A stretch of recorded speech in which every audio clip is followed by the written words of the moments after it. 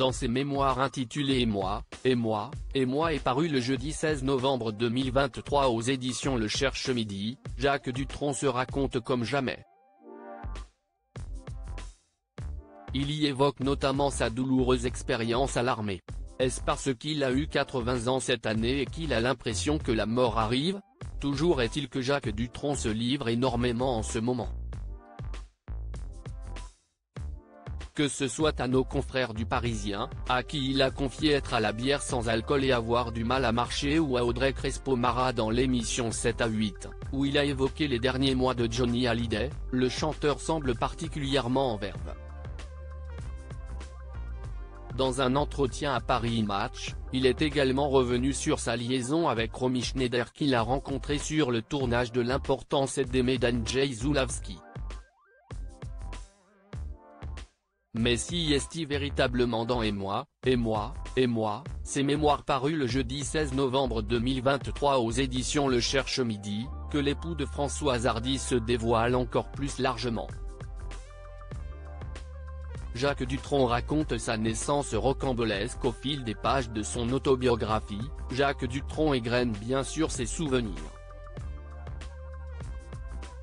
S'il a volontairement choisi de pas évoquer son fils, Thomas Dutronc, il narre en revanche sa naissance rocambolesque, en 1943, en pleine Seconde Guerre mondiale, dans un Paris occupé par les Allemands.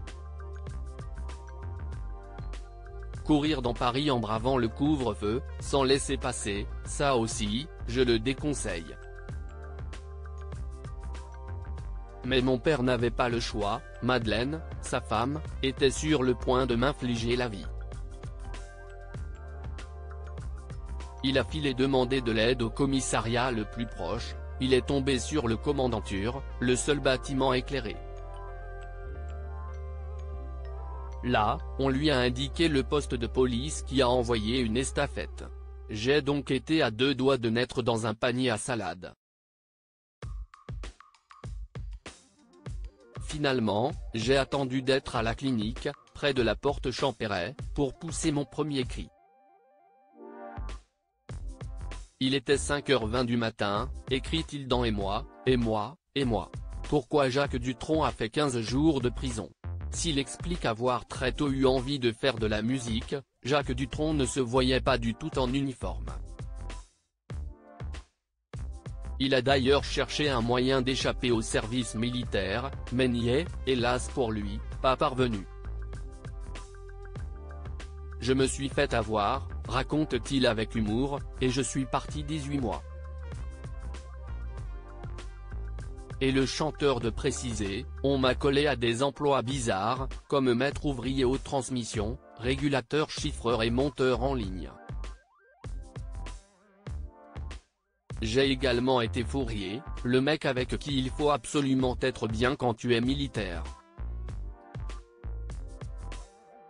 Tous les grands qui ne me revenaient pas, je leur filais des vestes avec des manches qui leur arrivaient au milieu des bras et des pantalons qui s'arrêtaient aux mollets. Les petits, par contre, nageaient dans leur uniforme. S'il narre son expérience sous les drapeaux avec dérision, il confie tout de même avoir tenté d'échapper à ses obligations. Un jour, je me suis fait la belle, explique-t-il. J'avais chopé un zona. L'infirmier m'a dit, tu n'as qu'à rentrer chez toi, il y a un trou là-bas sous les barbelés du camp, puis un peu plus loin sur la gauche des taxis. J'ai donc suivi son conseil. Jacques Dutronc raconte ensuite comment il a réussi à échapper à la police militaire et à regagner Paris en train, avant de changer Davis au bout de deux jours.